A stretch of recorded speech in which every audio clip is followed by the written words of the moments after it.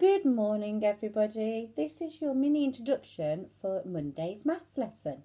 Now, I have got an analogue clock, and the analogue clock is very important as this week we are focusing on time.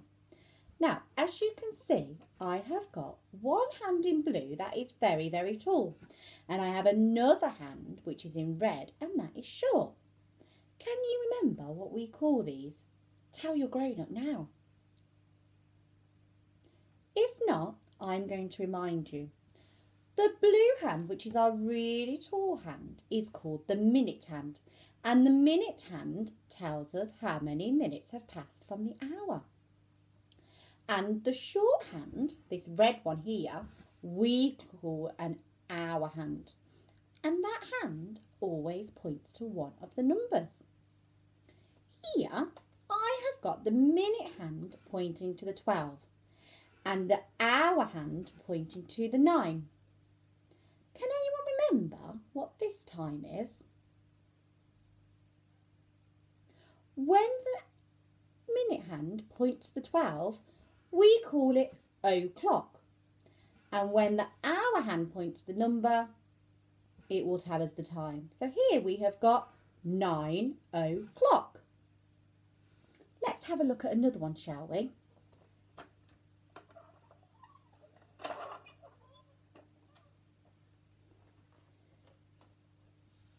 Now here, my minute hand is pointing to the six.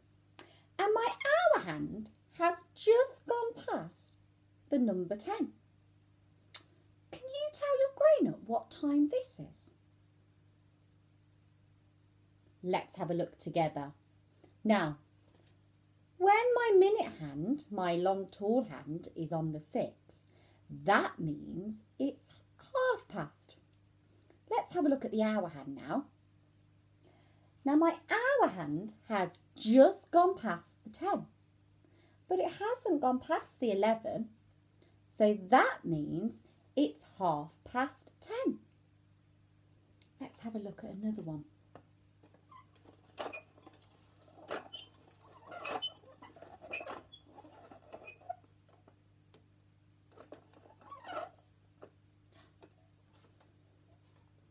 Now, my minute hand again is now on the three. Hmm. And my hour hand is pointing at the four. Can you tell your grown up what this time is? Now, let's have a look together then. When our minute hand is pointing to the three, that means it's a quarter past time. Let's have a look at the hour hand. Our hour hand is on the four. So the time we have here is quarter past four.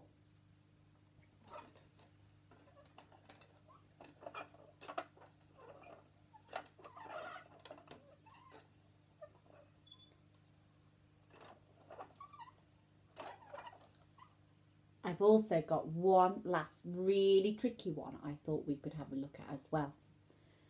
We've learnt o'clock, half past and quarter past. Let's have a look at my last one.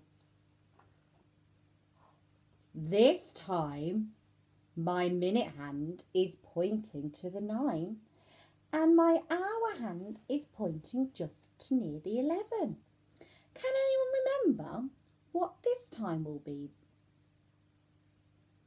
Let's have a look together. Now, when our minute hand is pointing to the nine, we say quarter to. And when we look at the hour hand, we can see, like we said earlier, it's just pointing towards the 11. That means it is quarter to 11. Let's have a look together and see if you can tell your grown up some of these times.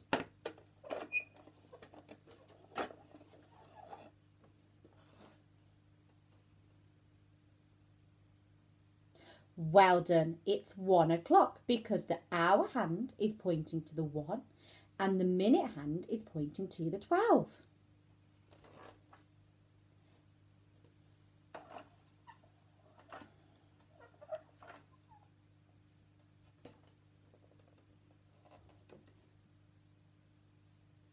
Well done. It's half past three.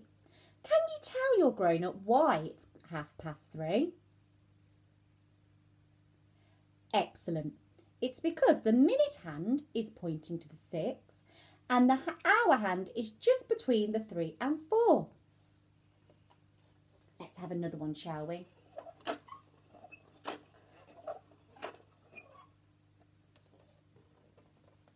Can you tell your grown up this time?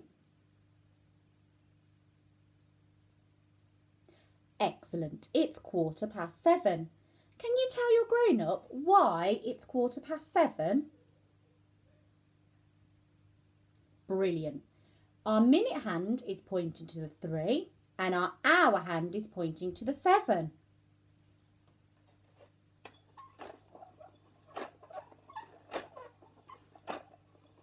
Last one. Can you tell me what this time is? Make sure it's nice and straight. Brilliant.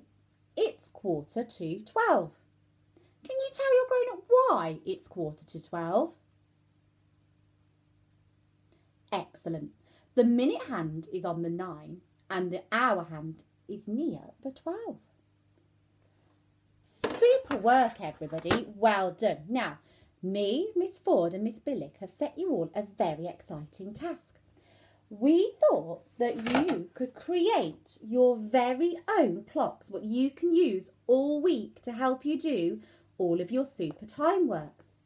So, your job is to follow all of the instructions and create a fantastic clock and make sure you remember to colour it all in nice and neatly so that you have a really colourful clock as well. And remember, when you've done that, if you could get your grown up to take a photo and send it to me and Miss Billick and Miss Ford, we'd really, really like to see the fantastic clocks that you've made at home. Thank you, everybody. I hope you have a lovely day. Bye.